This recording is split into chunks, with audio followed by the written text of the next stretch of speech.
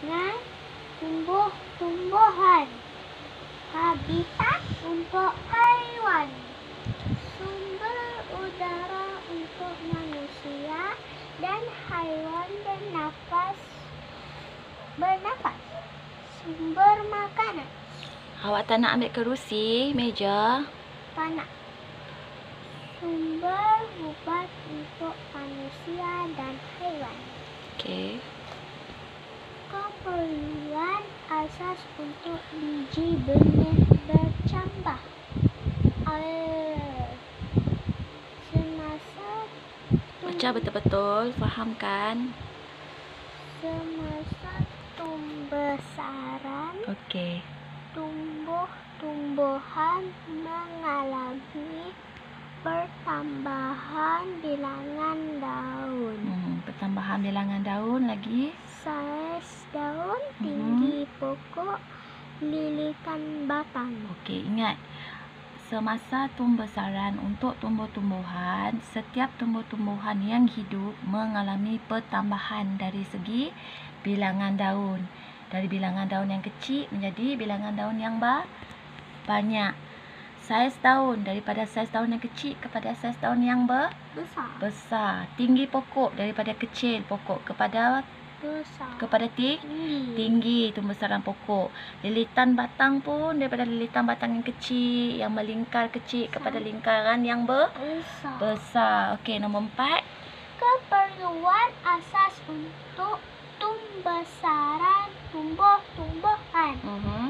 Air, udara, cahaya matahari. Okey, awak faham tak? Nombor empat. Keperluan asas untuk pembesaran tumbuh-tumbuhan apa? Tumbuh apakah keperluan asas untuk tumbuh pembesaran tumbuh-tumbuhan? Ada tiga. Hmm. Lagi? dan cahaya matahari. Okey, sebut betul-betul eh. Nombor lima. Baca. Urutan pembesaran tumbuh-tumbuhan. Okey. Satu, biji benih. Dua, gaji biji benih bercambah. Ketiga, anak pokok. Keempat, pokok berbunga. Kelima, pokok berbuah. Okey, urutan pembesaran tumbuh-tumbuhan bermula dari apa, Alicia? Hmm? Urutan pembesaran tumbuh-tumbuhan bermula dari apa? Kitarannya. Biji benih Okey. Kemudian daripada biji benih tumbuh menjadi bercambah. Okey, apabila biji benih bercambah seterusnya Anak pokok. Okey, apabila sudah menjadi anak pokok, akhirnya Pokok berbunga. pokok itu berbunga. Selepas pokok itu berbunga, akhirnya pokok itu mengeluarkan berbuah. hmm, pokok apa contohnya? Pokok durian, pokok Pokok buah kelapa. nangka. Pokok kelapa tak ada bunga. Buah nangka, buah cempedak. Okey, faham? Okey, saya jawab soalan. Sila jawab soalan nombor satu soalan. Apakah kepentingan tumbuh-tumbuhan kepada manusia dan haiwan? Okey, apakah kepentingannya? Hmm. Cuba lihat di sana. Dalam buku teks. Apakah kepentingan pembesaran? Buku teks, kepentingan tumbuh-tumbuh tumbuh-tumbuhan sebagai. Biji benih. sebagai apa? Kepada manusia dan haiwan apa? Satunya sebagai habi habitat. Satu sebagai habitat untuk Untuk haiwan. kedua sebagai sumber Udara untuk manusia dan haiwan bernafas. Hmm, ingat Isha. Nombor tiga sebagai sumber. Sumber makanan. Keempat sebagai sumber. Ubat untuk manusia dan haiwan. Ha, sebagai sumber ubat jika tumbuh-tumbuhan itu merupakan tumbuh-tumbuhan yang dalam kategori herba. Contoh tongkat ali, ginseng. Faham sih? Faham tak? Soalan nombor dua. Baca soalan nombor dua Alisha. Nyatakan keperluan asas untuk biji benih tumbuh-tumbuhan bercambah. Okey. Nyatakan keperluan asas senang untuk biji tumbuh biji benih tumbuh-tumbuhan bercambah. Ni. Keperluan asas ada tu. Lihat betul-betul. Apa yang awak baca tadi? Selepas ni awak baca kat mana? Lihat. Nyatakan keperluan asas. Apakah keperluan asas untuk biji benih bercambah? Ada berapa? Ada tiga kan? Nyatakan keperluan asas. Air, Ya, udara, betul. suhu yang sesuai. Betul, itulah jawapannya. Soalan ketiga, perhatikan peringkat pembesaran pokok bunga matahari di bawah. Okey, di bawah awak lihat ada A, ada B, ada C, ada D. Sebelum awak jawab ni, awak ada lihat kitaran tumbuh-tumbuhan tak di dalam nota? Yang awak baca tadi. Ada tak? Daripada biji benih, kemudian? Daripada biji benih, kemudian? Biji benih bercambah, okey lagi, anak pokok, kemudian? Pokok berbunga, lagi pokok berbuah. Okey, awak susun peringkat pembesaran tumbuh-tumbuhan ini mengikut urutan. Awak susun. Bagaimana awak susun? Mula-mula ini pas ini Apa itu A? ini biji benih. Okey, kemudian nombor dua, Ini apa tu?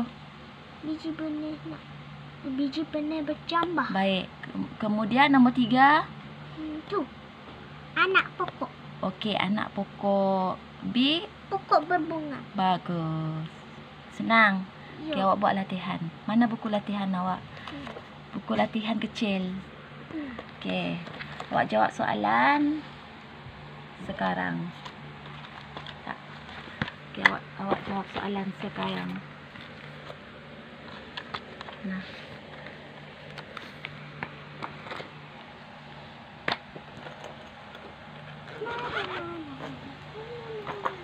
Kenapa tak jawab di atas meja? Sini nampak cahaya. Okey. tu. Jawab soalan bukan surat 59. Semua ni. Bukan. Soalan sahaja. Soalan 1 sehingga 3. Sini. Okey, buat latihan. Tulis tarikh. Tulis hari. Hari ni tak hari apa? Isnin. Tarikh kelas awak. Buka surat. Tarikh tinggi. Tarikh hari ni apa bulan? Tak apa. Tak apa, tak apa. Oh, buat dulu. Okey, aktiviti muka surat 59. Tulis sini. Hmm. Awak buat aktiviti muka surat 59. Okey, tulis aktiviti muka surat 59. Kemudian awak tulis arahan, tulis soalan dan jawab so jawab soalan. Hmm.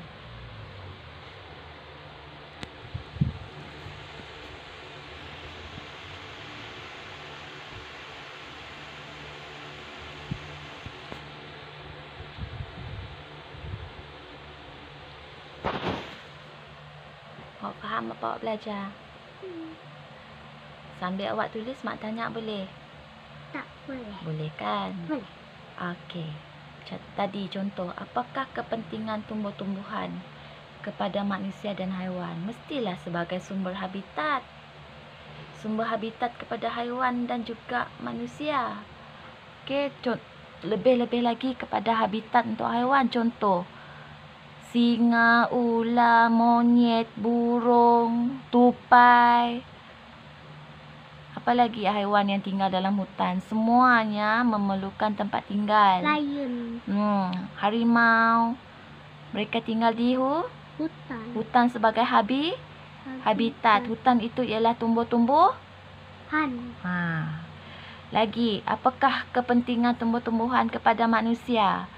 Satu, ba- baik kepada manusia atau baik kepada haiwan mestilah sebagai sumber udara membolehkan kita manusia dan haiwan bernah Nafas. Ha. Kenapa tumbuh-tumbuhan menjadi sumber udara? Sebab semakin banyak tumbuh-tumbuhan, tumbuh-tumbuhan mengel mengeluarkan oksi Oksigen dan dioksida. Ah, bukan karbon dioksida, oksigen. Oksigen. Okey. Ber- men- Banyak oksigen dikeluarkan. Jadi apabila oksigen banyak dikeluarkan, kita dapat juga. bernafas. Sebab itulah kita tak boleh menebang pokok di hutan secara berleluar berleluasa sesuka hati Ya, jika ya. tidak dikawal. Nah, perlu jaga alam sekitar. Lagi uh, tumbuh-tumbuhan juga sebagai apa? Sumber makan. Sumber makanan. Contoh sayur, sayur-sayuran, salah satu tumbuh-tumbuhan. Okey, sebagai sumber makanan lah. Pokok buah-buahan, buah rambutan, durian, pokok langsat juga merupakan salah satu daripada tumbuh-tumbuhan. Tumbuhan. Lagi sumber ubat mestilah yang akar-akar kayu dari tumbuh-tumbuhan, herba. Contoh ginseng, tongkat ali, kaci Fatimah, misai kucing. Lagi ha, ada banyak lagi jenis-jenis tumbuhan sebagai sumber ubat untuk manusia dan hai. Haiwan. Hmm, perlu ingatlah jawapan tadi. Mak dah bagi jawapan. Kita fikir.